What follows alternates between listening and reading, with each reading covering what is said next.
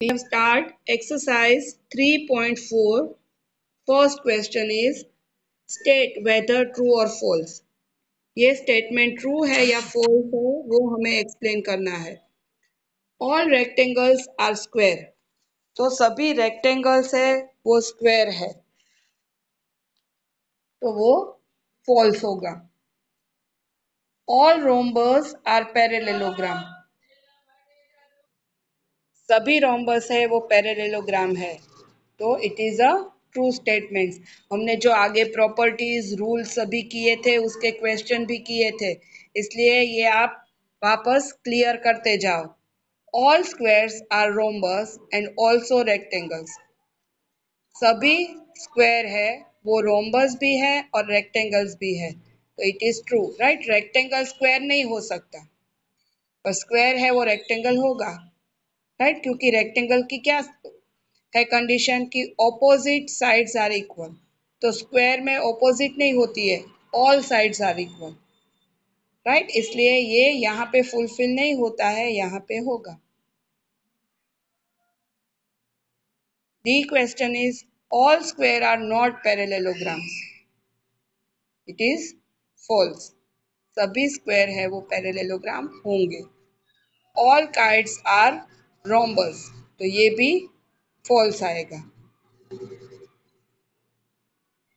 All rhombus are kites तो वो true होगा। Right right? उसकी प्रॉपर्टीज़ आप याद कर को, उसकी प्रॉपर्टीज़ क्या थी? काइट में क्या थी?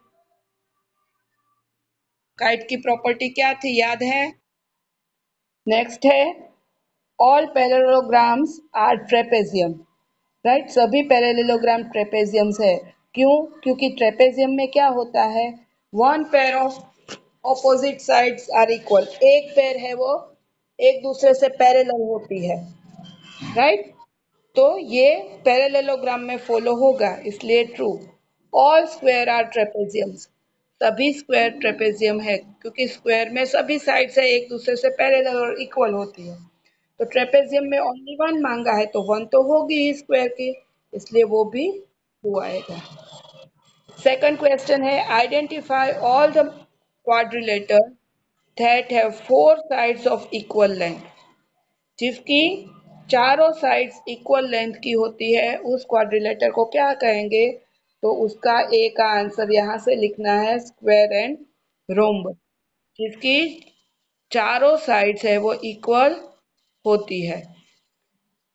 फोर राइट एंगल्स चारों एंगल राइट किसमें होंगे? स्क्वायर एंड रेक्टेंगल के। स्क्वायर एंड रेक्टेंगल के चारों एंगल से वो राइट एंगल यानी कि 90 के होते हैं।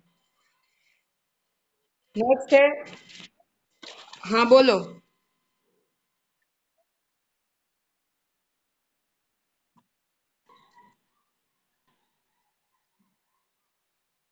स्क्वायर इज़ अ क्वाड्रिलेटर तो फ़र्स्ट का आंसर ये क्वेश्चन है, यहाँ आंसर है।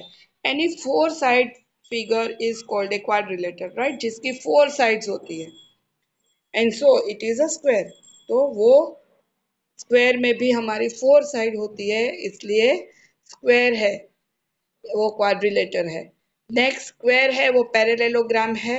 तो पैरेलेलोग्राम में क्या होता है? Opposite sides of a parallelogram are equal and parallel and so is in the square तो पैरेलेलोग्राम में जो ऑपोजिट साइड्स होती है वो इक्वल होती है वो वो एक दूसरे से पैरेलल होती है जो स्क्वायर में भी फॉलो होता है Next is a rhombus is also a square. So all the four sides of rhombus are equal and so is in the square. जैसे rhombus में चारों sides equal है तो वो स्क्वायर में भी चारों साइड्स इक्वल होती है। एंड रेक्टेंगल तो रेक्टेंगल में क्या है? All the four angles of a rectangle are right angles and opposite sides are equal same in the case of the square जैसे रेक्टेंगल में चारों एंगल 90 के होते हैं राइट एंगल स्क्वायर में भी 90 के होते हैं। और रेक्टेंगल में ऑपोजिट साइड इक्वल होती है, जो स्क्वायर में भी ऑपोजिट साइड इक्वल ही होगी राइट स्क्वायर में चारों साइड से इक्वल है तो उसके बदले हम उसकी ऑपोजिट साइड भी इक्वल है, ऐसा बोल सकते हैं।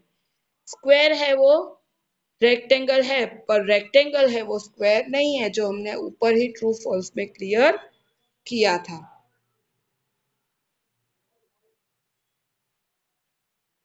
Question four name the quadrilaterals whose diagonals are bisect each other जिसके डायोगनल एक दूसरे को बाइसेक्ट करते हो, वैसा क्वाड्रिलेटर कौन सा है?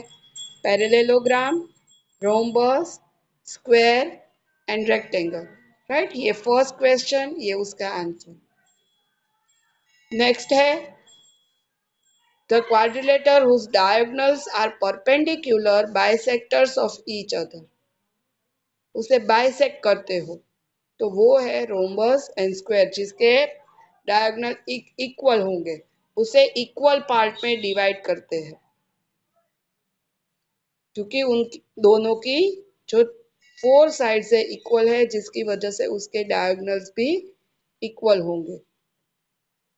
And third is quadrilateral whose diagonals are equal किसके होंगे?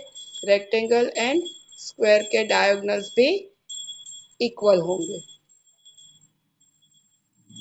है explain why a rectangle is a convex quadrilateral A rectangle is a convex quadrilateral because no part of its diagonal lies in its exterior. Right? Convex में क्या होता है उसके quadrilateral कहाँ पे होते हैं इंटीरियर में जो एक्सटीरियर नहीं है वो रूल्स फॉलो होता है